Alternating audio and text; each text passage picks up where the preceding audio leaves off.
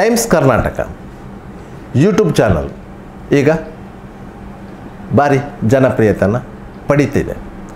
ನೀವು ಈ ಚಾನಲನ್ನು ಸಬ್ಸ್ಕ್ರೈಬ್ ಮಾಡಿ. ಇದನ್ನು ನಿಮ್ಮ ಸ್ನೇಹಿತರಿಗೆ ತಿಳಿಸಿ. ಅವರನ್ನು ಸಬ್ಸ್ಕ್ರೈಬ್ ಆಗಲು ಪ್ರೋತ್ಸಾಹಿಸಿ.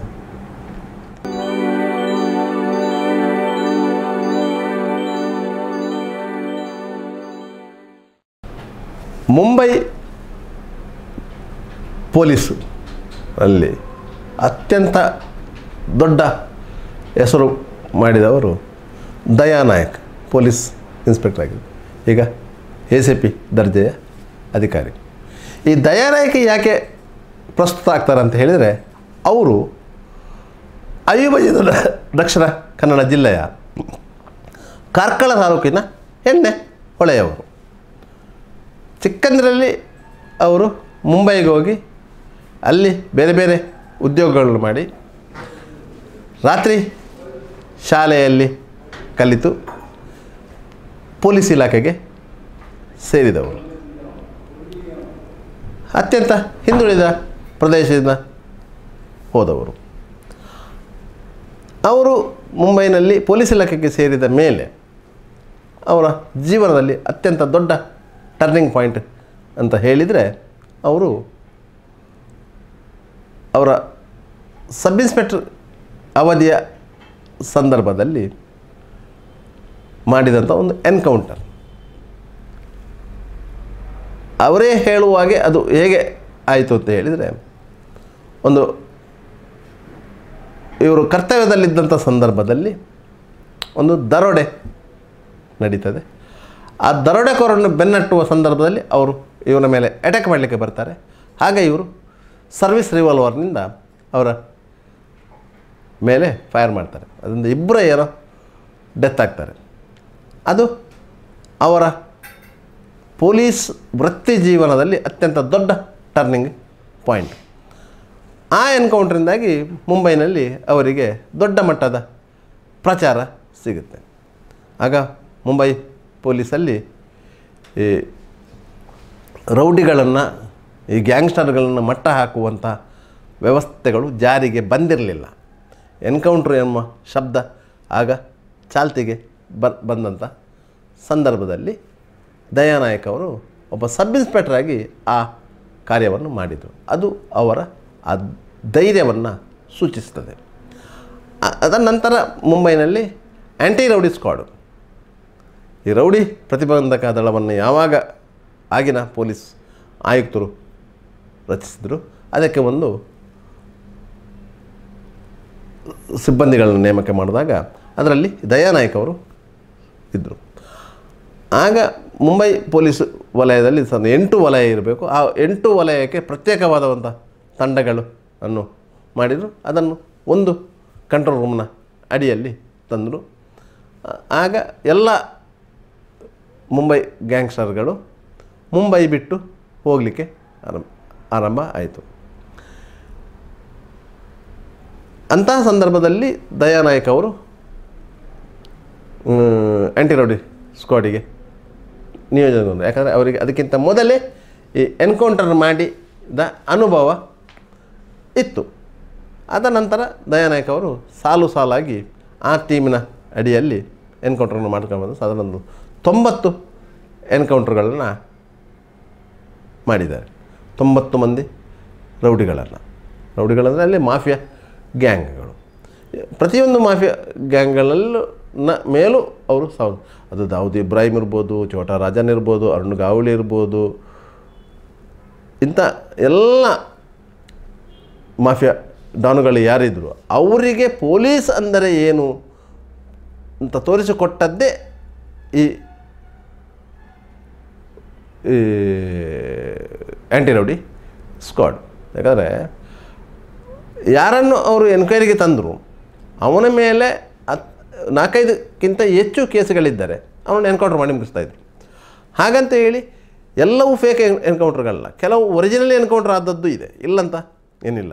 ಆದರೆ ಬಹುತೇಕ ಎನ್ಕೌಂಟ್ರ್ಗಳು ಪ್ರೀ ಪ್ಲ್ಯಾಂಡ್ ಎನ್ಕೌಂಟ್ರ್ಗಳು ಯಾಕಂದರೆ ರೌಡಿಗಳನ್ನು ಹಿಡಿದು, ತಂದು ಎನ್ಕ್ವೈರಿ ಮಾಡಿ ಅವರಿಂದ ಎಲ್ಲ ಮಾಹಿತಿಗಳನ್ನು ಪಡೆದ ನಂತರ ಅವ್ರನ್ನ ಎನ್ಕೌಂಟ್ರ್ ಮಾಡೋದು. ಎನ್ಕೌಂಟ್ರಿಗೆ ಒಂದು ಕತೆ ಕಟ್ಟೋದು ಆ ಕಥೆಯನ್ನು ಜನ ಒಪ್ಪಲೇಬೇಕು. ಅದರ ವಿರುದ್ಧವಾಗಿ ಯಾರು ಹೋಗ್ತಾ ಇರಲಿಲ್ಲ. ಇತ್ತೀಚೆಗೆ ಕೆಲವು ಎನ್ಕೌಂಟ್ರ್ಗಳ ಬಗ್ಗೆ ಎಲಿಗೇಷನ್ ಆಗಿ ಕೋರ್ಟಿಗೆ ಹೋಯಿತು, ಸುಪ್ರೀಂ ಕೋರ್ಟಿಗೆ ಹೋಯಿತು, ಕೆಲವರು ಜೈಲಿಗೆ ಹೋದರು, ಈ ರೀತಿಯೆಲ್ಲ ಆಯಿತೇ ಹೊರತು ಮುಂಬೈನಲ್ಲಿ ನಡೆದಂಥ ಎಲ್ಲ ಎನ್ಕೌಂಟ್ರ್ಗಳಲ್ಲಿ ಯಾರು ಕೋರ್ಟಿಗೆ ನ್ಯಾಯಕ್ಕಾಗಿ ಹೋದವರು ಇಲ್ಲ. ಯಾಕಂದರೆ ಅಲ್ಲಿ ನಡೆದ ಎನ್ಕೌಂಟ್ರ್ಗಳು ಎಲ್ಲವೂ ಪಕ್ಕಾ ಆಗಿತ್ತು. ಯಾಕಂದರೆ ಅಮಾಯಕರನ್ನ ಪೊಲೀಸರು ಎನ್ಕೌಂಟ್ರ್ ನೆಪದಲ್ಲಿ ಕೊಲ್ಲಿಲ್ಲ. ಈ ರೀತಿಯಾಗಿತ್ತು ಯಾಕಂದರೆ ಕೆಲವೊಂದು ಎನ್ಕೌಂಟ್ರ್ಗಳು ಆ ರೀತಿ ಆಗಿದೆ. ಕೆಲವೊಂದು ಸಂದರ್ಭಗಳಲ್ಲಿ ಆ ರೀತಿ ಮಾಡಿದ್ದು ಇದೆ. ಇಲ್ಲಂತ ಏನು ಇಲ್ಲ. ಪೊಲೀಸರನ್ನೇ ಬಳಸಿಕೊಂಡು ಎದುರಾಳಿ ತಂಡದವನನ್ನು ಓಡಿಸುವುದು ಒಂದು ಸಿಸ್ಟಮ್ ಆಗಿ ಬಂತು. ಆದರೆ ದಯಾನಾಯಕ ಅವರು ಅಂಥ ಯಾವುದೇ ಇದರಲ್ಲಿ ಇರಲಿ. ಇಂಥ ದಯಾನಾಯಕ ಅವರಿಗೆ ಒಂದು ಕನಸಿತ್ತು. ಅಂದರೆ ತನ್ನ ಊರಲ್ಲಿ ಒಂದು ಸರ್ಕಾರಿ ಹೈಸ್ಕೂಲು ಬರಬೇಕು ಅಂತೇಳಿ. ಹಾಗೆ ಅವರು ಹೈಸ್ಕೂಲು ತನ್ನ ಊರಲ್ಲಿ ಕಟ್ಬೋದಿತ್ತು ಅವರ ಹಿರಿಯರಿಂದ ಬಂದಂಥ ಜಾಗ ಇತ್ತು. ಊರಲ್ಲೂ ಸಾಕಷ್ಟು ಸರ್ಕಾರಿ ಭೂಮಿ ಇತ್ತು. ಅವರು ಹೇಳಿದರೆ ಆ ಊರಿನವರು ಅದನ್ನು ಒಪ್ತಾಯಿದ್ರು ಆದರೆ ಅವರಿಗೆ ಕನಸು ಏನಿತ್ತು ಅಂತ ಹೇಳಿದರೆ ಹಣ ಹಾಕಿ ಕಟ್ಟಡ ಕಟ್ಟಬೋದು ಅದಕ್ಕೆ ಮೂಲ ಸೌಲಭ್ಯವನ್ನು ಒದಗಿಸ್ಬೋದು ಆದರೆ ಅದನ್ನು ಮೇಂಟೈನ್ ಮಾಡುವುದು ಸಾಧ್ಯ ಆಗಲಿಕ್ಕಿಲ್ಲ ಮುಂದಿನ ದಿನಮಾನಗಳಲ್ಲಿ. ಅದರಿಂದಾಗಿ ಅದು ಸರ್ಕಾರಿ ಹೈಸ್ಕೂಲು, ಆದರೆ ಸರ್ಕಾರ ಅದನ್ನು ಮುಂದೆ ನಡೆಸ್ಕೊಂಡು ಹೋಗ್ತದೆ ಅಂತೇಳಿ ಯಾಕಂದರೆ ಅವರ ಹುಟ್ಟೂರು ಎಣ್ಣೆಹೊಳೆಯಲ್ಲಿ ಸರ್ಕಾರಿ ಹೈಸ್ಕೂಲ್ಗಳು ಇರಲಿಲ್ಲ. ತುಂಬ ದೂರದಲ್ಲಿ ಇತ್ತು. ಅದರಿಂದಾಗಿ ಅವರು ಆ ಒಂದು ಯೋಜನೆ ಹಾಕಿ ಊರಿನ ಜನರನ್ನು ಸೇರಿಸಿಕೊಂಡು ಒಂದು ಸಂಘ ಸಮಿತಿ ಮಾಡಿದರು. ಅದರ ಮೂಲಕ ಅವರು ಸರ, ಸರ್ಕಾರಕ್ಕೆ ಪತ್ರ ಬರೆದರು, ಸ್ಥಳೀಯ ಶಾಸಕರನ್ನು ವಿನಂತಿಸಿದರು. ಆಗ ಗೋಪಾಲ್ ಭಂಡಾರಿ ಅವರು ಶಾಸಕರಾಗಿದ್ದರು ಅವರು ಒತ್ತಾಸೆಯಾಗಿ ನಿಂತರು ಅಂತೂ ಇಂತೂ ಸರ್ಕಾರಿ ಮಟ್ಟದಲ್ಲಿ ಅದು ಅಪ್ರೂವ್ ಆಯಿತು, ಅನುಮೋದನೆ ಆಯಿತು. ಯಾಕಂದರೆ ಆ ಸಂದರ್ಭದಲ್ಲಿ ಸರ್ಕಾರಿ ಹೈಸ್ಕೂಲುಗಳ ನಿರ್ಮಾಣಕ್ಕೆ ಸರ್ಕಾರ ಅನುಮತಿ ಕೊಡ್ತಾ ಇರಲಿಲ್ಲ. ಯಾಕಂದರೆ ಅದಕ್ಕೆ ಮೂಲ ಸೌಲಭ್ಯವನ್ನು ಒದಗಿಸಲಿಕ್ಕೆ ಕಷ್ಟ ಆಗುತ್ತದೆ ಅಂತ ಕಾರಣಕ್ಕಾಗಿ. ಒಂದು ಹೈಸ್ಕೂಲು ನಿರ್ಮಾಣ ಹೈಸ್ಕೂಲಿಗೆ ಅನುಮತಿ ಕೊಟ್ಟರೆ ಹೈಸ್ಕೂಲ್ ನಿರ್ಮಾಣ ಹೈಸ್ಕೂಲಿಗೆ ಸ್ಥ- ಸ್ಥಳಾವಕಾಶ ಕೊಡಬೇಕು. ಸ್ಥಳಾವಕಾಶ ಆದರೆ ಅದಕ್ಕೆ ಕಟ್ಟಡ ಕಟ್ಟಬೇಕು. ಕಟ್ಟಡ ಕಟ್ಟಿದರೆ ಅದಕ್ಕೆ ಮೂಲ ಸೌಕರ್ಯ ಒದಗಿಸಬೇಕು. ಅದಕ್ಕೆ ಟೀಚರ್ಗಳ ನೇಮಕ ಆಗಬೇಕು. ಎಲ್ಲವೂ ಸರ್ಕಾರಿ ಮಟ್ಟದಲ್ಲಿ ಆಗಬೇಕು. ಅದರಿಂದಾಗಿ ಅದಕ್ಕೆ ಖರ್ಚು ಇಷ್ಟು ಬರುತ್ತದೆ ಅಂತೇಳಿ ಅದೇ ರೀತಿ ಖಾಸಗಿಯವರು ಹೈಸ್ಕೂಲು ನಿರ್ಮಾಣ ಮಾಡ್ತಾರೆ ಅಂದರೆ ಸರ್ಕಾರ ಅನುಮತಿ ಕೊಡ್ತಾಯಿತ್ತು ಯಾಕಂದರೆ ಅದರಲ್ಲಿ ಜಾಗವೂ ಅವರದೇ, ಕಟ್ಟಡವೂ ಅವರದೇ, ಮೂಲ ಸೌಕರ್ಯವೂ ಅವರದೇ, ಶಿಕ್ಷಕರ ಸಂಬಳವೂ ಅವರೇ ಕೊಡಬೇಕು. ಅದರ ನಂತರ ಸಾಧಾರಣ ಒಂದು ಐದು ವರ್ಷ, ಹತ್ತು ವರ್ಷ, ಹದಿನೈದು ವರ್ಷ ಆದ ಮೇಲೆ ಅದಕ್ಕೆ ಅನುದಾನ ಬರುವುದು. ಯಾಕಂದರೆ ಎಷ್ಟು ವಿದ್ಯಾರ್ಥಿಗಳಿದ್ದಾರೆ, ಎಷ್ಟು ಮೂಲ ಸೌಲಭ್ಯ ಇದೆ ಇದರ ಲೆಕ್ಕದ ಮೇಲೆ ಸರ್ಕಾರ ಅನುದಾನ ಕೊಡ್ತದೆ. ಅನುದಾನ ಅಂದರೆ ಶಿಕ್ಷಕರ ಸಂಬಳ ಮಾತ್ರ. ಬಾಕಿ ಮೇಂಟೆನೆನ್ಸು ಈ ಯಾರು ಹೈಸ್ಕೂಲ್ ಕಟ್ಟಿದ್ದಾರೆ, ಅವರೇ ಮಾಡಬೇಕಿತ್ತು. ಆದರೆ ದಯಾನಾಯಕ್ ಅವರು ಆರಂಭದಲ್ಲಿ ಅದಕ್ಕೊಂದು ವಿದ್ಯಾವರ್ಧಕ ಸಂಘ ಅಂತ ಮಾಡಿಕೊಂಡು, ಊರವರನ್ನು ಸೇರಿಸಿಕೊಂಡು, ಸರ್ಕಾರಿ ಹೈಸ್ಕೂಲೇ ನಮಗೆ ಮಂಜೂರಾಗಬೇಕು ಅಂತೇಳಿ ಪಟ್ಟು ಹಿಡಿದು ಆ ಮಟ್ಟದಲ್ಲಿ ಪ್ರಯತ್ನ ಮಾಡಿದ್ರಿಂದ ಸರ್ಕಾರ ಅದನ್ನು ಮಂಜೂರು ಮಾಡಿತ್ತು. ಮಂಜೂರು ಮಾಡಿದ ಕೂಡಲೇ ಅದಕ್ಕೆ ಸ್ಥಳ ನಿಗದಿ ಆಯಿತು ಹಾಂ? ಯಾಕಂದರೆ ಒಂದು ಹೈಸ್ಕೂಲ್ ಅಂತ ಹೇಳಿದ ಕೂಡಲೇ ಕಡಿಮೆ ಕಡಿಮೆ ಒಂದು ಐದು ಎಕರೆ ಜಾಗ ಬೇಕಾಗ್ತದೆ ಬಿಲ್ಡಿಂಗ್ ಬಿಲ್ಡಿಂಗ್ ಆಗಬೇಕು, ಕ್ರೀಡಾಂಗಣ ಬೇಕು, ಎಲ್ಲವೂ ಬೇಕಾಗ್ತದೆ ಖಾಸಗಿಯವರು ಒಂದು ಎಕರೆ ಜಾಗದಲ್ಲೂ ಹೈಸ್ಕೂಲು ನಿರ್ಮಾಣ ಮಾಡ್ತಾರೆ. ಅದು ಪ್ರಶ್ನೆ ಬೇರೆ. ಆದರೆ ಸರ್ಕಾರ ಆ ರೀತಿ ಮಾಡಲಿಕ್ಕೆ ಬರಲ್ಲ. ಯಾಕಂದರೆ ಕ್ರೀಡಾಂಗಣದ ಅವಶ್ಯಕತೆ ಇದ್ದೇ ಇರ್ತದೆ. ನೀರಿನ ಅವಶ್ಯಕತೆ ಇರಬೇಕು, ವಿದ್ಯುತ್ತು, ಕಟ್ಟಡ, ಅದಕ್ಕೆ ಮೂಲ ಸೌಕರ್ಯಗಳು, ಇದೆಲ್ಲವೂ ಬೇಕು. ಹಾಗೆ, ಆ ಹೈಸ್ಕೂಲಿಗೆ ಪರ್ಮಿಷನ್ ಆಯಿತು, ಅವರು ಬಿಲ್ಡಿಂಗ್ ನಿರ್ಮಾಣಕ್ಕೆ. ಅದಕ್ಕೆ ನೂ, ಅವರ ಸಂಪರ್ಕದಲ್ಲಿದ್ದವರೆಲ್ಲ ಡೊನೇಷನ್ ಮಾಡಿದ ಕಡಿಮೆ ಕಡಿಮೆ, ಆ ಕಾಲದಲ್ಲಿ ಒಂದು ಮೂರು ಕೋಟಿ ರೂಪಾಯಿ ಖರ್ಚು ಮಾಡಿ ಅದಕ್ಕೆ ಬಿಲ್ಡಿಂಗು ಮತ್ತು ಅದಕ್ಕೆ ಮೂಲ ಸೌಕರ್ಯಗಳು. ಅನ್ನು ಒದಗಿಸಿದ್ದಾರೆ. ಅಲ್ಲಿ ಕಂಪ್ಯೂಟರ್ ಕ್ಲಾಸ್ ಮಾಡಲಿಕ್ಕೆ ಎಲ್ಲ ವ್ಯವಸ್ಥೆಗಳನ್ನು ಮಾಡಿದರು. ಅದರ ನಂತರ ಎಲ್ಲ ಹೈಸ್ಕೂಲ್ಗಳಲ್ಲಿ ಕಾಲೇಜುಗಳಲ್ಲಿ ಆ ವ್ಯವಸ್ಥೆ ಬಂದದ್ದು. ಅದಕ್ಕಿಂತ ಮೊದಲು ಎಣ್ಣೆಹೊಳೆ ಶಾಲೆಯಲ್ಲಿ ಆ ವ್ಯವಸ್ಥೆ ಕಂಪ್ಯೂಟರ್ ಕ್ಲಾಸಿನ ವ್ಯವಸ್ಥೆಗಳೆಲ್ಲ ಬಂದಿತ್ತು. ಹಾಗೆ ಮಾಡಿದ ಅದರ ಉದ್ಘಾಟನೆಯನ್ನು ಸಹ ಅದೇ ರೀತಿ ಉದ್ ವಿಜೃಂಭಣೆಯಿಂದ ಮಾಡಬೇಕು ಅಂತೇಳಿ ಅವರ ಕನಸಿತ್ತು. ಆ, ಹಾಗೆ ಅವರು ಆ ಹೈಸ್ಕೂಲ್ನ ಉದ್ಘಾಟನೆಗೆ ಕರೆಸಿದ್ದು ಬಿಗ್ ಬಿ ಅಮಿತಾಬ್ ಬಚ್ಚನ್ ಅವರನ್ನು. ಅಮಿತಾಬ್ ಬಚ್ಚನ್ ಮುಂಬೈಯಿಂದ ಮಂಗಳೂರಿಗೆ ಬಂದು ಮಂಗಳೂರಿಂದ ಆ ಹೆಣ್ಣೆ ಹೊಳೆ ಅಂತ ಕಾರ್ಕಳದ ಗ್ರಾಮಾಂತರ ಪ್ರದೇಶಕ್ಕೆ ಬಂದು ಆ ಹೈಸ್ಕೂಲನ್ನು ಉದ್ಘಾಟಿಸಿದರು. ಆ ಸಮಾರಂಭದಲ್ಲಿ ಬಾಲಿವುಡ್ ಸ್ಟಾರ್ಗಳಾದ ಸುನೀಲ್ ಶೆಟ್ಟಿ ಅಂತಾರಾಷ್ಟ್ರೀಯ ಮಟ್ಟದ ಚಿತ್ರಕಲಾವಿದ. ಇವರೆಲ್ಲರೂ ದೊಡ್ಡ ಮಟ್ಟದ ಸಭೆ. ಸಭೆ ಅಧ್ಯಕ್ಷತೆಯನ್ನು ವಹಿಸಿದ್ದುದು ಧರ್ಮಸ್ಥಳದ ಧರ್ಮಾಧಿಕಾರಿ ಡಿ ವೀರೇಂದ್ರ ಹೆಗಡೆ ಅವರು. ಆಗ ರಾಜ್ಯದ ಶಿಕ್ಷಣ ಸಚಿವರಾಗಿದ್ದದ್ದು ಈ ಎಚ್ ವಿಶ್ವನಾಥ್. ಅಗಡೂರು ವಿಶ್ವನಾಥ್ ಅಂತ ಏನಿದೆ, ಹಳ್ಳಿ ಹಕ್ಕಿ ಅಂತ ಹೇಳ್ತೀವಿ. ಅವರು ಆಗ ಶಿಕ್ಷಣ ಸಚಿವರಾಗಿದ್ದರು. ಅವರು ಶಿಕ್ಷಣ ಸಚಿವರಾಗಿದ್ದಾಗಲೇ ಅದು ಆ ಶಾಲೆಗೆ ಪರ್ಮಿಷನ್ ಆಗಿರೋದು. ಆದ್ದರಿಂದಾಗಿ ಅಲ್ಲಿ ದೊಡ್ಡ ಮಟ್ಟದ ಫಂಕ್ಷನ್ ಆಯಿತು. ದೊಡ್ಡ ಮಟ್ಟದ ಪ್ರಚಾರವು ಸಿಕ್ಕಿತು. ಆ ಹೈಸ್ಕೂಲ್ ಕಟ್ಟಿದ್ರಿಂದ ಆ ಭಾಗದ ಸಾವಿರಾರು ವಿದ್ಯಾರ್ಥಿಗಳಿಗೆ ಅನುಕೂಲ ಆಯಿತು. ಇಲ್ಲದೆ ಆ ಭಾಗದ ವಿದ್ಯಾರ್ಥಿಗಳು ಈಚೆಗೆ ಕಾರ್ಕಳಕ್ಕೆ ಹೈಸ್ಕೂಲ್ ವಿದ್ಯಾಭ್ಯಾಸಕ್ಕೆ ಬರಬೇಕಿತ್ತು. ಇಲ್ಲಾಂದರೆ ಹೆಬ್ರಿಗೆ ವಿದ್ಯಾಭ್ಯಾಸಕ್ಕೆ ಹೋಗಬೇಕಿತ್ತು. ಅದರಿಂದಾಗಿ ಆ ಹಳ್ಳಿಗೆ ಅದೊಂದು ಅನುಕೂಲ ಆಯಿತು. ಆದರೆ ಎಲ್ಲ ಖರ್ಚು ವೆಚ್ಚಗಳನ್ನು ಆ ಟ್ರಸ್ಟ್ ನೋಡಿಕೊಂಡಿದೆ. ದಯಾನಾಯಕ ಅದರಲ್ಲಿ ಒಂದು ನಿಮಿತ್ತ ಮಾತ್ರ. ಅದರ ದಯಾನಾಯಕರ ಹೆಸರಲ್ಲಿ ಇದ್ದಿದ್ದರಿಂದಾಗಿ ಅದಕ್ಕೆ ಆ ಅಷ್ಟು ಮೊಟ್ಟ ಮೊತ್ತದ ದೇಣಿಗೆಗಳು ಎಲ್ಲ ಹರಿದು ಬರಲಿಕ್ಕೆ ಸಾಧ್ಯ ಆಗಿದೆ ಎನ್ನುವುದಂತೂ ಸ್ಪಷ್ಟ. ಇಲ್ಲದೆ ಹಳ್ಳಿ ಒಳೆಯಲ್ಲಿ ಬೇರೆ ಯಾರಾದರೂ ಅಂತ ಒಂದು ಪ್ರಯತ್ನ ಮಾಡ್ತಾಯಿದ್ರೆ ಅಷ್ಟು ದೊಡ್ಡದ ಮಟ್ಟದ ಹೈಸ್ಕೂಲು ನಿರ್ಮಾಣ ಮಾಡಲಿಕ್ಕೆ ಸಾಧ್ಯ ಆಗ್ತಾ ಇರಲಿಲ್ಲ. ಅಷ್ಟು ದೊಡ್ಡ ಮಟ್ಟದ ಸಮಾರಂಭವನ್ನು ಆಯೋಜಕರಿಗೆ ಸಾಧ್ಯ ಆಗ್ತಾ ಇರಲಿಲ್ಲ. ಅದರಿಂದಾಗಿ ದಯಾನಾಯಕರ ಆ, ವರ್ಚಸ್ಸು ಅಲ್ಲಿ ಕೆಲಸ ಮಾಡಿತ್ತು ಆಗ ಒಂದು ಪ್ರಶ್ನೆ ಬಂದದ್ದು ಏನು ಅಂತ ಹೇಳಿದರೆ, ಒಬ್ಬ ಪೊಲೀಸ್ ಸಬ್ ಇನ್ಸ್ಪೆಕ್ಟರ್ ತಿಂಗಳಿಗೆ ಮೂವತ್ತ ಐದರಿಂದ ನಲವತ್ತು ಸಾವಿರ ಸಂಬಳ ತೆಗೆದುಕೊಳ್ಳುವವರು ಮೂರು ಕೋಟಿ ವೆಚ್ಚದ ಹೈಸ್ಕೂಲನ್ನು ಹೇಗೆ ನಿರ್ಮಿಸಿದರು ಎನ್ನುವ ಪ್ರಶ್ನೆ. ಇದಕ್ಕೆ ಅವರು ಅನ್ಯ ಮಾರ್ಗದಿಂದ ಹಣ ಸಂಗ್ರಹಿಸಿದ್ದಾರೆ. ನಾನು ಮುಂಬೈ ಕ್ರೈಮ್ ಬ್ರ್ಯಾಂಚಿನ ಅಧಿಕಾರಿ. ಅದರಿಂದಾಗಿ ಆ ನೆಲೆಯಲ್ಲಿ ಅವರು ಈ ಅಕ್ರಮ ಚಟುವಟಿಕೆ ಮಾಡುವವರಿಂದ ಹಣ ಸಂಗ್ರಹಿಸಿ ಇಲ್ಲಿ ಶಾಲೆ ಕಟ್ಟಿದ್ದಾರೆ. ಉದ್ದೇಶ ಒಳ್ಳೆಯದೇ ಇರ್ಬೋದು. ಅದನ್ನು ಪ್ರಶ್ನೆ ಮಾಡೋದಿಲ್ಲ ಅದರ ಹಣದ ಮೂಲ ಏನು? ಅದು ಪ್ರಶ್ನೆ ಬಂದದ್ದು. ಆಗ ಈ ಹಣ ಎಲ್ಲ ಅರಿದು ಬಂದದ್ದು ಯಾವುದಕ್ಕೆ? ಆ ಟ್ರಸ್ಟಿಗೆ, ಅದನ್ನು ಟ್ರಸ್ಟ್ ಮಾಡಿದರು. ಟ್ರಸ್ಟಿಗೆ ಬಂದಿದೆ.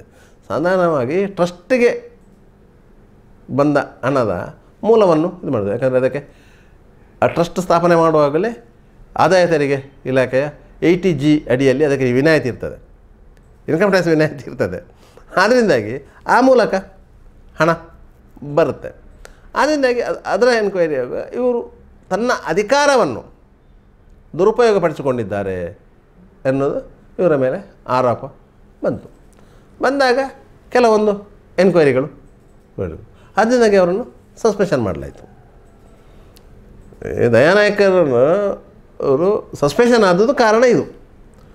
ಅವರು ಎಣ್ಣೆ ಹೊಳೆಯಲ್ಲಿ ಊರಿನ ವಿದ್ಯಾರ್ಥಿಗಳಿಗೆಗಾಗಿ ಅಷ್ಟು ದೊಡ್ಡ ಹೈಸ್ಕೂಲು ನಿರ್ಮಾಣ ಕಾರ್ಯಕ್ಕೆ ಕೈ ಹಾಕದೇ ಇರ್ತಾ ಇದ್ದರೆ. ಒಂದು ವೇಳೆ ನಿರ್ಮಾಣ ಮಾಡಿ ಅದನ್ನು ಸ, ಅದನ್ನು ಮತ್ತೆ ಸರ್ಕಾರಕ್ಕೆ ಬಿಟ್ಟುಕೊಟ್ಟದ್ದು. ಅದೇನು ಇವರ ಅಡಿಯಲ್ಲಿ? ಇಲ್ಲ. ಅದು ಬೇರೆಲ್ಲ ಸರ್ಕಾರಿ ಹೈಸ್ಕೂಲ್ಗಳು ಯಾವ ರೀತಿಯಲ್ಲಿ ಕಾರ್ಯಾಚರಣೆ ಮಾಡೋದು. ಅದೇ ರೀತಿ ಹನ್ನೆರಡು ಹೈಸ್ಕೂಲು ಕಾರ್ಯಾಚರಣೆ ಮಾಡೋದು. ಅದಕ್ಕೂ ದಯಾನಾಯಕ್ ಅವರ ಫ್ಯಾಮಿಲಿಗೂ ಯಾವ ಸಂಬ, ಸಂಬಂಧವೂ, ಸಂಪರ್ಕವೂ ಇಲ್ಲ. ಇವರು ಅಷ್ಟು ನನ್ನ ಊರಿಗೆ ಒಂದು ಹೈಸ್ಕೂಲ್ ಬೇಕು ಹೈಸ್ಕೂಲಲ್ಲಿ ಮೂಲ ಸೌಲ, ಸೌಲಭ್ಯ ಬೇಕು ನನ್ನ ಊರಿನ ಮಕ್ಕಳು ಸುಲಭದಲ್ಲಿ ವಿದ್ಯಾಭ್ಯಾಸ ಕಲಿಬೇಕು ಅನ್ನೋ ಉದ್ದೇಶಕ್ಕಾಗಿ ತನಗೆ ಇರುವಂತಹ ಸಂಪನ್ಮೂಲಗಳನ್ನು ಕ್ರೋಢೀಕರಿಸಿಕೊಂಡು ತನ್ನ ಸ್ನೇಹಿತರು, ತನ್ನ ಪರಿಚಯದವರು ಅವ್ರ ಹತ್ರ ಎಲ್ಲ ದೇಣಿಗೆ ಸಂಗ್ರಹ ಮಾಡಿ. ಆ ದೇಣಿಗೆಗೆ ಆದಾಯ ತೆರಿಗೆ ಇಲಾಖೆಯಿಂದಲೂ ಅನುಮತಿಯನ್ನು ಪಡ್ಕೊಂಡು ಆ ರೀತಿ ಆ ಟ್ರಸ್ಟ್ನ ಮೂಲಕ ಅದನ್ನು ಮಾಡಿಸಿರುವುದು. ಅದಕ್ಕೆ ಪ್ರೇರಕ ಶಕ್ತಿ ದಯಾನಾಯಕ ಆಗಿರ್ಬೋದು. ಆದರೆ ದಯಾನಾಯಕ ಅವರು ಭ್ರಷ್ಟಾಚಾರ ಮಾಡಿ ಅದನ್ನು ಕಟ್ಟಿದ್ದಾರೆ ಅಂತ ಏನಿಲ್ಲ. ಯಾಕಂದರೆ ಅದಕ್ಕೆ ಹಣ, ಇವರ ಉಳಿತಾಯದ ಹಣವೂ ಅದಕ್ಕೆ ಸೇರಿದೆ. ಆ ಊರಿನವರ ಡೊನೇಷನು ಅದಕ್ಕೆ ಸೇರಿದೆ. ಮುಂಬೈಯ ಕೆಲವು ವ್ಯಕ್ತಿಗಳು ಅದಕ್ಕೆ ಡೊನೇಷನ್ ಕೊಟ್ಟವರು ಇದ್ದಾರೆ. ಅದರಿಂದಾಗಿ ಆ ರೀತಿಯಾಗಿ ಶಾಲೆ ಇದೆ ಈಗ ಒಂದು ಶಾಲೆ ಅಂತ ಹೇಳಿದ ಕೂಡಲೇ ಅದಕ್ಕೆ ಒಂದು ಡೊನೇಷನ್ ಬರೋದು ಸಹಜ. ಆ ರೀತಿಯಾಗಿ ಬಂದಿದೆ. ಇದನ್ನು ಅವರಿಗೆ ಆಗದವರು ಇರ್ತಾರಲ್ಲ. ಈಗ ಅದು ಯಾವುದೇ ಇಲಾಖೆಯಲ್ಲಿರ್ಬೋದು ಒಬ್ಬ ಅಧಿಕಾರಿ ಒಂದು ಒಳ್ಳೆಯ ಹೆಸರು ಮಾಡಿದಾನಂತ ಹೇಳಿದ ಕೂಡಲೇ ಅವರಿಗೆ ಆಗದವರ ಒಂದು ಗುಂಪು ಸೃಷ್ಟಿಯಾಗುತ್ತೆ. ಆದ್ದರಿಂದಾಗಿ ಆ ಗುಂಪು ಇದನ್ನು ಎತ್ತಿಕಟ್ಟಿತು. ಎತ್ತಿಕಟ್ಟಿದ ಪರಿಣಾಮವಾಗಿ ಸರ್ಕಾರ ಏನು ಮಾಡಿತು ಅಂತ ಹೇಳಿದರೆ ಇವರ ಮೇಲೆ ಒಂದು ತನಿಖೆಗೆ ಆದೇಶ ಮಾಡಿತು. ತನಿಖೆಗೆ ಆದೇಶ ಯಾರು ಯಾರು ಮಾಡ್ತಾರೆ? ಈ ಕ್ರೈಮ್ ಬ್ಯಾಂಚಿಂದ ಹೊರಗಿನ ಅಧಿಕಾರಿಗಳೇ ಮಾಡ್ತಾರೆ. ಕ್ರೈಮ್ ಬ್ಯಾಂಚಲ್ಲಿದ್ದ ಅಧಿಕಾರಿಗಳು ಮಾಡೋದಲ್ಲ ಕ್ರೈಮ್ ಬ್ಯಾಂಚಿಂದ ಹೊರಗಿರುವ ಅಧಿಕಾರಿಗಳು ಮಾಡ್ತಾರೆ. ಅವರಿಗೆ ಈ ಕ್ರೈಮ್ ಬ್ರ್ಯಾಂಚಿನವರ ಮೇಲೆ ಒಂದು ಕಣ್ಣಿರ್ತದೆ. ಯಾಕಂದರೆ ಕ್ರೈಮ್ ಬ್ರ್ಯಾಂಚ್ನವರು ಮಾಡುವಂಥ ಎನ್ಕೌಂಟ್ರುಗಳು ಅವರು ಮಾಡುವಂಥ ಕಾರ್ಯಾಚರಣೆಗಳು, ಅದು ಎಲ್ಲವೂ ಅಲ್ಲಿನ ವ್ಯವಸ್, ಪೊಲೀಸ್ ವ್ಯವಸ್ಥೆಯ ಇಂದ ಮೇಲೆ ಇರ್ತದೆ. ಲೋಕಲ್ ಪೊಲೀಸಿಗೆ ಗೊತ್ತೇ ಇರ್ತದೆ ಕೆಲವೊಂದು ವಿಚಾರಗಳು. ಅವರ ಮೇಲೆ ಇವರು ಸವಾರಿ ಮಾಡಿದಾಗ ಆಗತ್ತೆ. ಒಂದು ಪೊಲೀಸ್ ಸ್ಟೇಷನ್ ಲಿಮಿಟ್ಸಲ್ಲಿ ಒಬ್ಬ ರೌಡಿ ಇದ್ದಂತ ಆದರೆ, ಅವನನ್ನು ನಿಯಂತ್ರಿಸುವ ಅಧಿಕಾರ ಯಾರಿಗಿರೋದು? ಜವಾಬ್ದಾರಿ ಯಾರಿಗಿರೋದು? ಆಯಾ ಪೊಲೀಸ್ ಠಾಣೆ ಅಧಿಕಾರಿಗೆ. ಅವನನ್ನು ಕ್ರೈಮ್ ಬ್ರ್ಯಾಂಚಿನವರು ಬಂದು ಹಿಡ್ಕೊಂಡು ಹೋಗಿ ಎನ್ಕ್ವೈರಿ ಮಾಡಿ ಮತ್ತು ಕೊನೆಗೆ ಅವರನ್ನು ಎನ್ಕೌಂಟ್ರ್ ಮಾಡಿದ್ರು ಅಂತ ಇಟ್ಕೊಂಡ್ರೆ, ಇವನು ಒಂದು ಎನ್ಕ್ವೈರಿ ಫೇಸ್ ಮಾಡಬೇಕು. ನಿನ್ನಿಂದ ಯಾಕೆ ಸಾಧ್ಯ ಆಗಲಿಲ್ಲ ಅಂತ ಹೇಳಿ ಅವನ ಈ ರೀತಿಯ ಆ್ಯಕ್ಟಿವಿಟೀಸಲ್ಲಿ ಅವನಿದ್ದಾಗ ನೀನು ಅವನ್ನ ಯಾಕೆ ನಿಯಂತ್ರಿಸಲಿಲ್ಲ? ನೀನು ಯಾಕೆ ಅವನ ಮೇಲೆ ಆ್ಯಕ್ಷನ್ ತಗೊಳ್ಳಿಲ್ಲ? ಅಂತ ಬರುತ್ತೆ. ಆಗ ಇವ ಸಮಜಾಯಿಸಿ ಕೊಡ್ತಾನೆ, ಅವನ ಮೇಲೆ ನಾನು ಇಷ್ಟು ಕೇಸು ಮಾಡಿದ್ದೇನೆ, ನಾನು ಅವನ ಮೇಲೆ ಈ ರೀತಿ ಕ್ರಮ ತಗೊಂಡಿದ್ದೆ ಆದರೂ ಅವನು ಇದು ಮಾಡಲಿಲ್ಲ. ಆ, ಅದು ಒಂದು ಕೋಪ ಇದ್ದೇ ಇರ್ತದೆ. ಅದರಿಂದಾಗಿ ದಯನಾಯಕರ ಮೇಲೆ ಆ ರೀತಿಯ ಎನ್ಕ್ವೈ, ಎನ್ಕ್ವೈರಿ ಆದಾಗ, ಆ ತನಿಖೆ ಮಾಡಿದ ಅಧಿಕಾರಿಯೂ ಸಹ ಇವರ ವಿರುದ್ಧವಾದ ವರದಿಯನ್ನೇ ನೀಡಿದ್ದು. ಅದರಿಂದಾಗಿ ಅವರು ಸಸ್ ಸಸ್ಪೆಷನ್ ಆದರು ಅದ ನಂತರ ಅವರ ಮೇಲೆ ಕ್ರಿಮಿನಲ್ ಕೇಸು ಆಯಿತು. ಅವರನ್ನು ಅರೆಸ್ಟ್ ಮಾಡಿದ ಇವು ಮಾಡಿದ ಮತ್ತು ಅದ್ರ ಮೇಲೆ ಜಾಮೀನು ಆಯಿತು ಅವರಿಗೆ. ಮತ್ತು ಆ ಕ್ರಿಮಿನಲ್ ಕೇಸ್ ಕೋರ್ಟಲ್ಲಿ ಬಿಟ್ಟು ಹೋಯಿತು. ಬಿಟ್ಟು ಹೋದ ನಂತರ ಅವ್ರನ್ನ ಪುನಃ ಇಲಾಖೆಗೆ ತಗೊಂಡ್ರು. ಅದರ ನಂತರ ಅವರಿಗೆ ಪ್ರಮೋಷನ್ ಆಯಿತು. ಹಾಂ ಅದ ನಂತರ ಅವರಿಗೆ ಕ್ರೈಮ್ ಬ್ರಾಂಚಿಗೆ ಪೋಸ್ಟಿಂಗ್ ಸಿಕ್ಕಿಲ್ಲ.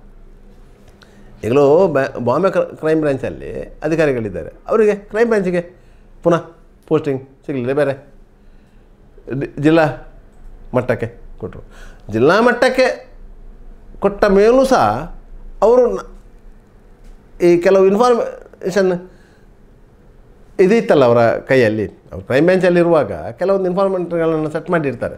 ಆ ಇನ್ಫಾರ್ಮೇಷನ್ನ ಮೇಲೆ ಮತ್ತಷ್ಟು ಕಾರ್ಯಾಚರಣೆ ಮಾಡಿದ್ದಾರೆ.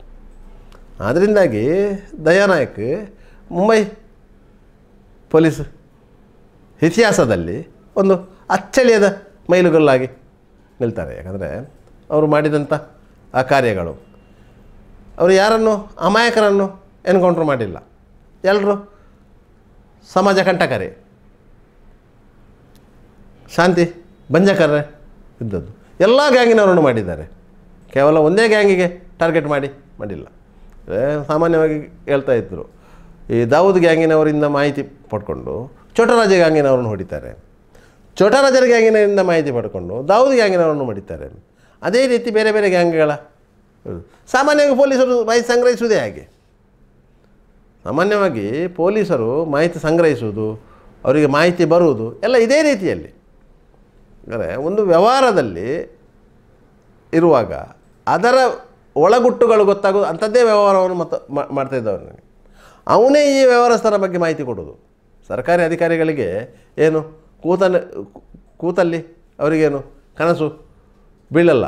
ಅವರಿಗೆ ಮಾಹಿತಿ ಕೊಡೋದು ಇದೇ ರೀ, ಅದೇ ರೀತಿಯ ವ್ಯವಹಾರದಲ್ಲಿ ಮಾಡೋದು. ಅದರಿಂದಾಗಿ ಈ ಗ್ಯಾಂಗ್ಸ್ಟರ್ಗಳು ಗಳ ಬಗ್ಗೆ ಮಾಹಿತಿ ಕೊಡೋದು ಮತ್ತೊಬ್ಬ ಗ್ಯಾಂಗ್ಸ್ಟರೇ ಅವರಿಗೆ ಆ ಮಾಹಿತಿಗಳು ಸಿಕ್ಕೋದು ಯಾಕಂದರೆ ಪ್ರತಿಯೊಂದು ಗ್ಯಾಂಗ್ಗಳಲ್ಲೂ ಇನ್ನೊಬ್ಬ, ಇನ್ನೊಂದು ಗ್ಯಾಂಗಿನ ಒಬ್ಬ ಸದಸ್ಯ ಇರ್ತಾನೆ ಅಲ್ಲಿ. ಈ ಮಾಹಿತಿ ಕೊಡ್ಲಿಕ್ಕೆ ಅಂತೇಳಿ ಈ ಸಾಮಾನ್ಯವಾಗಿ ಪೊಲೀಸ್ ಭಾಷೆಯಲ್ಲಿ ಅಲ್ಕಾಟಿಗಳಂತ ಹೇಳ್ತಾರೆ. ಈ ಮಾಹಿತಿ ಕೊಡೋನು ಸಾಮಾನ್ಯವಾಗಿ ಪಿಕ್ ಪಾಕೆಟರ್ಗಳು, ಇವರೆಲ್ಲ ಈ ಅಲ್ಕಾಟಿಗಳು. ಈ ಪೊಲೀಸರ ಮುಖ್ಯ ಮಾಹಿತಿದಾರರು ಅವರು. ಯಾಕಂದರೆ ಅವರಿಗೆ ಸಿಗುವಂಥ ಮಾಹಿತಿಗಳು ಬೇರೆ ಎಲ್ಲೂ, ಬೇರೆ ಯಾರಿಗೂ? ಸಿಗೋದಿಲ್ಲ. ಮತ್ತು ಲೋಕಲ್ ಈ ರೌಡಿಸಮ್ ಆ್ಯಕ್ಟಿವಿಟೀಸಲ್ಲಿ ಒಳಗೊಂಡವರಿಗೆ ಸಿಗುವಂಥ ಮಾಹಿತಿಗಳು ಈ ಪೊಲೀಸರಿಗೆ ಸಿಗೋದು ಪೊಲೀಸರಿಗೆ ಅವರ ಬಗ್ಗೆ ಮಾಹಿತಿ ಸಿಗೋದು ಅವರಿಂದಲೇ ಅದರಿಂದಾಗಿ ಆ ಮಾಹಿತಿಯನ್ನು ಸಂಗ್ರಹಿಸೋದು ತಪ್ಪು ಅಂತ ಹೇಳಲಿಕ್ಕೆ ಬರಲ್ಲ. ಕಾರ್ಯ ಚಟುವಟಿಕೆಗಳ ಮೇ ಹಿನ್ನೆಲೆಯಲ್ಲಿ ಆ ಮಾಹಿತಿಗಳನ್ನು ಸಂಗ್ರಹ ಆ ರೀತಿಯಾಗಿ ಮಾಹಿತಿಗಳನ್ನು ಸಂಗ್ರಹಿಸಿಕೊಂಡು ಅವರು ಹಲವಾರು ಕಾರ್ಯಾಚರಣೆ ಮಾಡಿದ್ದಾರೆ. ಎಲ್ಲವೂ ಶಾಂತಿ ಮತ್ತು ಸುವ್ಯವಸ್ಥೆಯನ್ನು ಕಾಪಾಡಲಿಕ್ಕೆ ಮಾಡಿದಂಥ ಕಾರ್ಯಗಳೇ ಹೊರತು ಅವರು ವೈಯಕ್ತಿಕ ಸಾಧನೆಗಾಗಿ ಮಾಡಿದ್ದು ಏನು ಅಲ್ಲ. ಯಾವುದು ಮಾಡಿದರೂ ಅದು ಸರ್ಕಾರದ ಪರವಾಗಿ ಅದನ್ನು ಮಾಡಿದ್ದಾರೆ. ಅದು ಅದರಿಂದಾಗಿ ದಯಾನಾಯಕ್ ಅಂದರೆ ಆ ಹೆಸರು. ಯಾಕಂದರೆ ಅವರ ಜೀವನ, ಅವರ ಜೀವನದ ಬಗ್ಗೆ ಒಂದು ಅತತ್ ಚಪ್ಪನ್ ಅಂತೇಳಿ ಯಾವುದೊಂದು ಸಿನಿಮಾ ಸಹ ಬಂದಿದೆ. ಹಿಂದಿ ಸಿನಿಮಾ ಬಂದಿದೆ. ಯಾವ ರೀತಿ ಇದು ಮಾಡಿದ್ದಾರೆ ಅಂತೇಳಿ. ಅದರಿಂದಾಗಿ ಅಲ್ಲೇ ಕ್ರೈಮ್ ಬ್ರಾಂಚಲ್ಲಿ ದಯಾನಾಯಕಿ ಆ ಒಂದು ಹೆಸರು ಇದೆ. ಅವರು ನಮ್ಮ ಉಡುಪಿ ಜಿಲ್ಲೆಯವರು ಒಟ್ಟಾರೆಯಾಗಿ ಅವಿಭಾಜ್ಯ ದಕ್ಷಿಣ ಕನ್ನಡ ಜಿಲ್ಲೆಯವರು ಎನ್ನುವುದು ನಮಗೆ ಒಂದು ಹೆಮ್ಮೆ. ಯಾಕಂದರೆ ಕಷ್ಟದಿಂದ ಕಲಿತು ಒಂದು ಸರ್ಕಾರಿ ಉದ್ಯೋಗ ಉದ್ಯೋಗ ಸೇರಿ ತನ್ನ ಊರಿಗೆ ಒಂದು ಮಹದೋಪಕಾರ ಮಾಡಿದ್ದಾರೆ. ಅದರಿಂದಾಗಿ ಅವರಿಗೆ ಅಷ್ಟು ಕಷ್ಟ ನಷ್ಟ ಆದರೂ ಸಹ ಅವರು ಎದೆಗೊಂದಲಿಲ್ಲ. ಪುನಃ ಅದೇ ಇಲಾಖೆಯಲ್ಲಿ ಮುಂದುವರಿತಿದ್ದಾರೆ. ಇದು ನಮ್ಮ ಹೆಮ್ಮೆ ಅಂತ ಹೇಳುವ